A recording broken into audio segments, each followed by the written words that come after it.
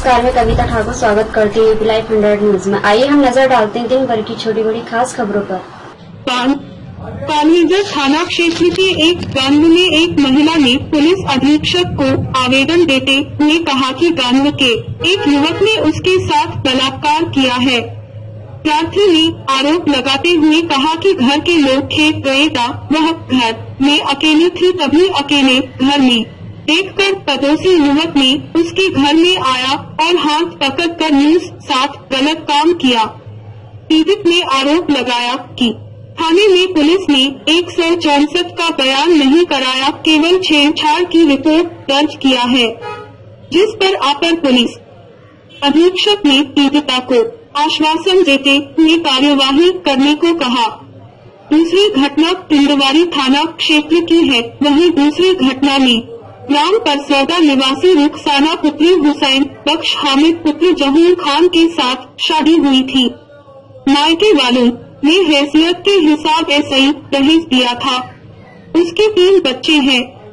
2017 में पति समेत ससुरीजनों पर मायके वालों ने दहेज में मोटरसाइकिल लाने के नाम प्रताड़ित करने और उसके साथ मारपीट करने की तहरीर दिया था, जिसमें पुलिस ने न्यायालय में के आदेश पर दहेज उत्पीड़न का मामला दर्ज कर लिया है। अनुराग तिवारी की रिपोर्ट। आप पीड़िता के कौन हैं? इनकी सास बहू है हमारी। ये पीड़िता आपकी बहू है? हाँ। अच्छा तो क्या मामला लेके आई हैं पुलिस साहब के पास? कि हमारे घर में घुसा है जब हम परवा से आए हैं तो हमने देख कौन घुसा घर के अंदर? पटवा। हाँ।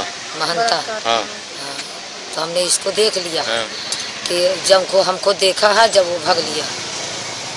अच्छा कप्तान साहब के पास आई? हाँ। थाने में एफ़ आई आर दर्ज हुई है कि नहीं? वहाँ नहीं सुनाई कुछ नहीं। सुनाई नहीं है कुछ? हाँ, कप्तान साहब मिले? हाँ। अच्छा तो क्या बात हुई? बोले थे? बोला करे का- का- सुनवाई सुनाई। आप पीड़िता के कौन हैं? इनकी सास बहू बहू है हमारी। ये पीड़िता आपकी बहू है? हाँ। अच्छा तो क्या मामला लेके आई हैं पुलिस साहब के पास? हमारे घर में घुसा है जब हम परवा से आए हैं तो हमने देख कौन घुसा घर के अंदर? पटवा। हाँ। महंता। हाँ।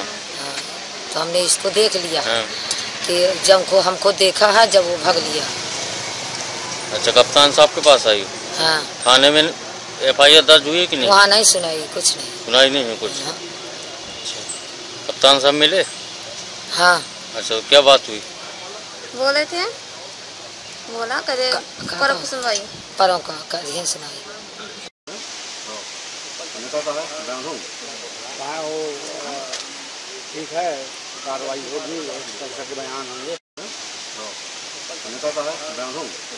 हाँ वो ठीक है कार्रवाई होगी हमारे चैनल को सब्सक्राइब करना ना भूलें और देखते रहें यूपी लाइफ हंड्रेड न्यूज़